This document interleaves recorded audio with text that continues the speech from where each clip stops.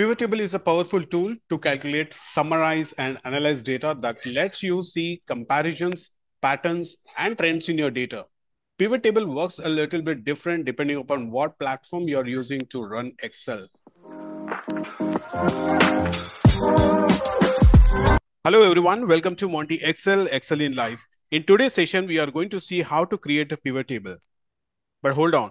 We all know how to create a pivot table. But here we are going to use amazing magical trick of pivot table, which will help you to save your tons of time in creating a multiple sheets of multiple pivot tables. What I mean, let's try to understand the data before we go ahead of creating any pivot chart or pivot table, or when you want to create any insights from your raw data. So we have order ID here, order date, ship mode, customer ID, and we have customer name, city, region, subcategory, sales, and so forth. And this is basically Superstore sales information from which you wanted to create a pivot table. Just imagine your boss has asked you create a pivot table. It's quite easy, but he wanted me to create city-wise pivot tables. That is 500 cities right now. We can see in the city column. At the same time, we also wants to show the region wise. We also wanted to show in the sales value, right? So when you want to create a pivot, we all know there is a shortcut key Alt NVT. Quickly, it will ask you one question. Do you want to create in a new worksheet or existing one? So let me go for a new sheet altogether.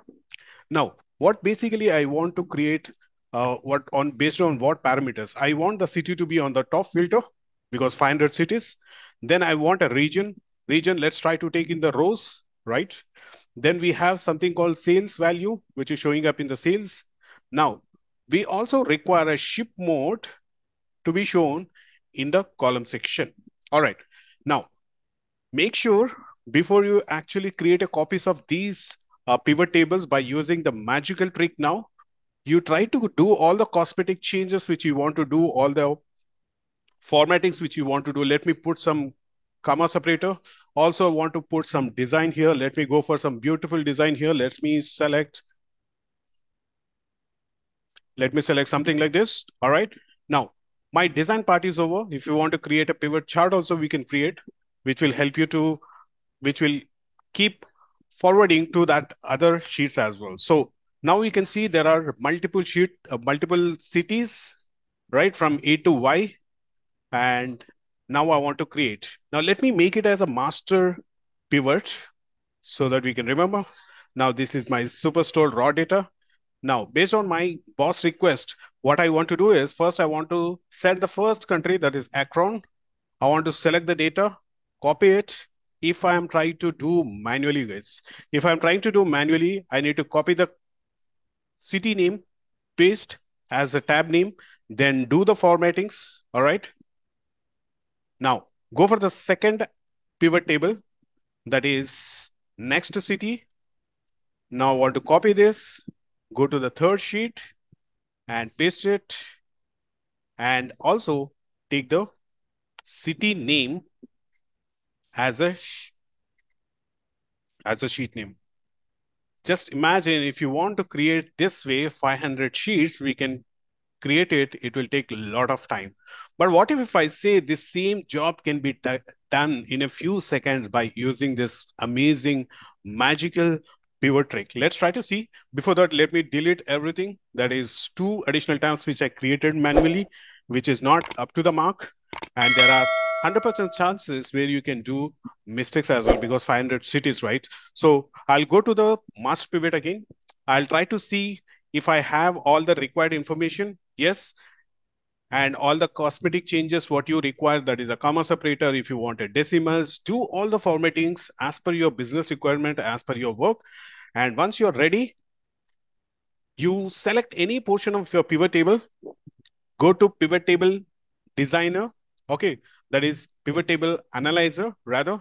Now the magic trick comes here. That is sitting right here in the, the pivot table analyzer under that pivot table. The moment I click on this option, with a few clicks, we are going to create. But before that, if I want to do the same job, either I need to know the Microsoft Power Query, which is much powerful, or I need to use VBA, that is Visual Basic Programming, that is writing a macros. Macros are nothing but set of instructions which you write to the computer in order to make your work done. So both works without any problem. But what if, if I don't know Power Query, where I need to do a lot of steps? What if, if I don't know programming, where I'm not a coder? basically i'm not a technical guy but i want to achieve this task without writing a formula without writing any code. Just with few button clicks i want to do my boss requirement. All right. Now what you do is select the pivot table go to the pivot table analyzer and click on pivot table. And click on don't click on options. It will show up a different dialog box now what you do is very important i repeat click on the pivot table don't click on the options click on the drop down menu here. There comes the hidden feature what we have in the pivot table that is show report filter pages. Once you click on show report filter pages, it is showing me only one particular column out of so many columns in my raw data. Just imagine there are hundreds of columns in your raw data, but here it is showing only city. The reason being, if you look at the, the pivot table, the way you have created, the city column you have put in filters area, right? Filters area. So whatever you create, any column in the filter area that will show up in the filter pan. So let me go again to the filter analyzer and click on pivot table, click on options, then click on show report filter pages. The moment I click, the moment I click, you are going to see an amazing feature of pivot table.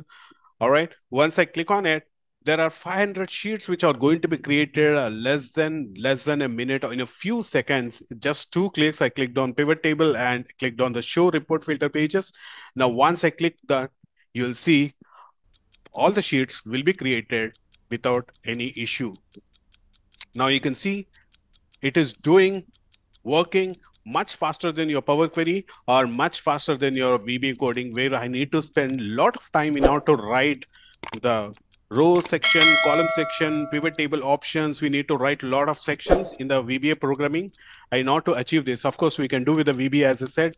We can also use the Power Query less than a minute, less than a minute. We are going to create a pivot tables of multiple shares with a proper naming convention because I don't know what are the city names in this. There are 500 city names of United States.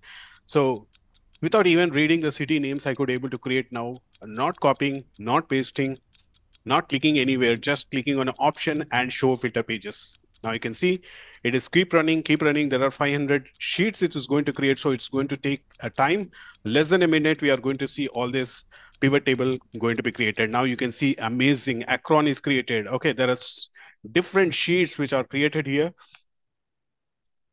without taking any time, just less than a minute, it could able to create all the sheets. You can also see at the top Okay, we can also see at the top the city name and corresponding the city, city name tab. All right, we have city name and city concerned pivot table. Right. So hope you like this. This is an amazing trick what is available in the pivot table. If you find this video informative, then click on like button and make sure to subscribe to Monty Excel. The best is yet to come.